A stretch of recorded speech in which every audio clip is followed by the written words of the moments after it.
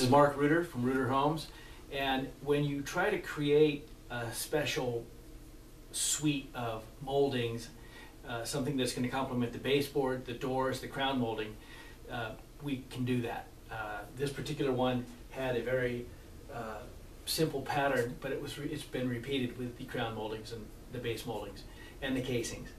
Uh, in this bathroom, we kind of carried that same theme through and uh, makes it all fit in a very nice custom way. So if you're interested in creating your own special environment, please check us out on the web. Thanks.